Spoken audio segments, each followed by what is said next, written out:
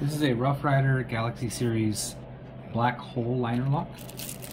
We're just doing a quick quality check before we get this sent out, make sure everything's good to go so our customer doesn't get um, you know, damaged or defective goods. So we can pick, take it out of the packaging, we can easily put all that back on, not a big deal. First thing we're looking at, make sure all the uh, screws are in there. We're gonna give them a little tap, make sure nothing's falling out either side. They look good. Um, and then we're gonna open this up. This is uh, extended tang, but not a spring assist, so it's not gonna just flip open every time. You gotta hit it, hit it right to get it open all the way. Um, the action feels nice and smooth. It doesn't feel like there's any catching in there. Um, so that's, that's good, that's what we wanna see. Liner lock engages fully, so that's good. Everything's machined properly there. And again, all the screws, thumb stud, pocket clip, that's all nice and tight and as it should be. And then the last thing we're looking at is the actual blade and the artwork. Artwork, I'm not seeing any scuffs, damage, anything there.